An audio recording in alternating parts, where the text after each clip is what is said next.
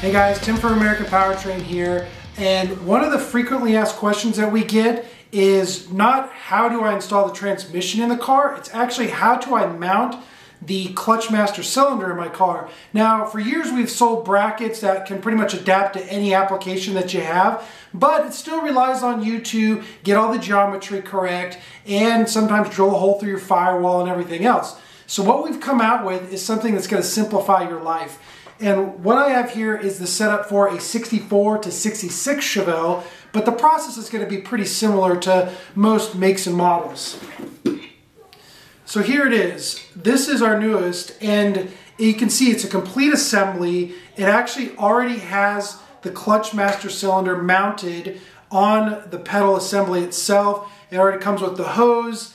Um, this beauty of it all is that this, you bolt it in and all the geometry is correct. So it's not going to overstroke this piston. It's not going to understroke it. You're going to have a nice, perfect pedal setup every single time when you use our bracket here. Now, there's really only two bolts. So there's a bolt that goes through this sleeve here, and then there's this front bolt right here.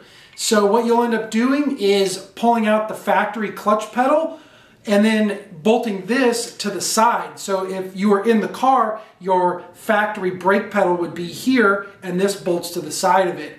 So this makes it just super easy to install and it takes a lot of the guesswork out. And even like this fitting here rotates to where if you need to rotate it up or down, you can do that as well. Um, this takes out all the guesswork with any sort of geometry. You bolt it in, it's done. So included with this kit is that assembly, a new braided hose if you don't have one already.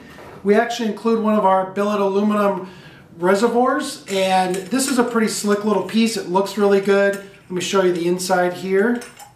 So you can see just a basic reservoir. Comes with a barbed fitting on the bottom and it has a two-piece bracket here so you can take the bracket off and mount that or get your holes lined up, then bolt this back together to get it all come together. So just different mounting options for however you want to mount this. And lastly, we include a new bolt with a machined sleeve. So when you your factory clutch pedal has a, a sleeve, so to speak, on it already, and you'll end up removing that. So this is the, the pedal assembly sleeve that you'll, you'll mount that allows the brake pedal to pivot along with holding this clutch pedal assembly in place. So um, it's a really easy deal. It's got the bolts that come in and out to tighten everything up. We include new plastic bushings in there in case yours are cracked or rotted or old or just plain out missing.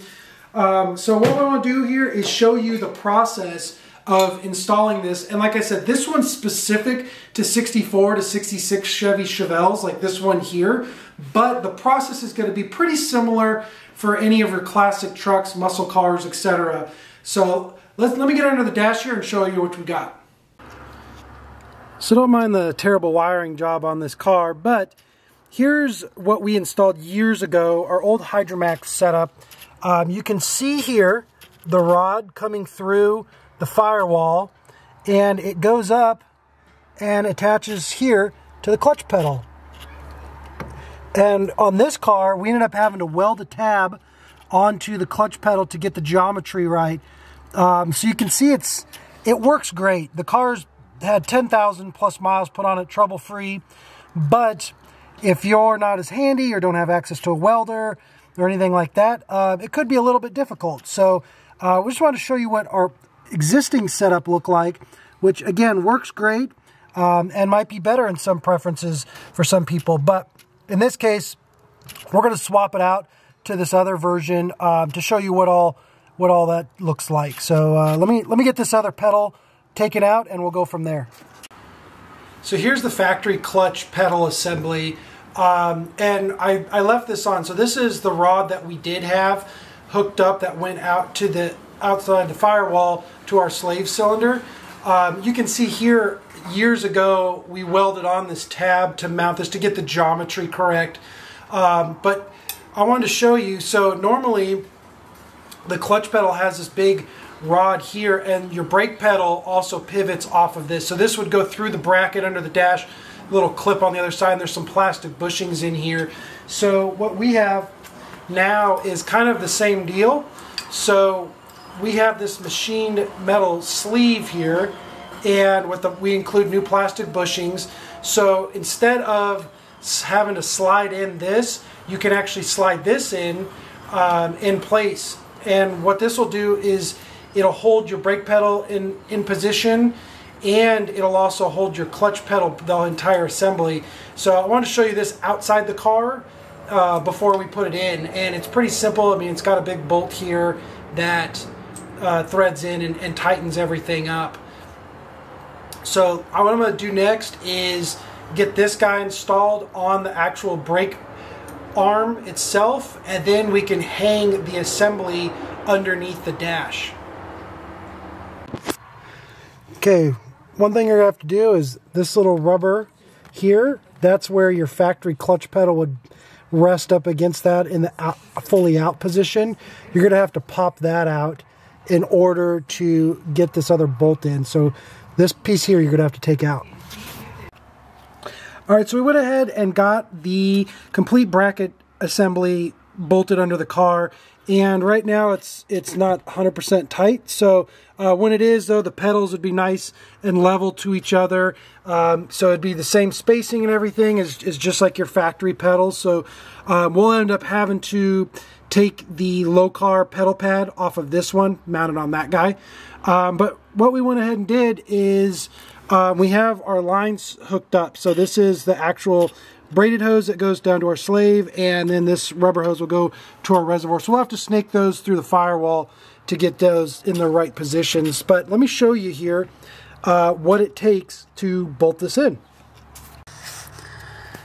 Okay, so there's two bolts. So the first one is this guy here. And remember we showed you earlier that you have to remove that pedal pad from your factory um, this is the factory bracket that the clutch and brake pedal mount to.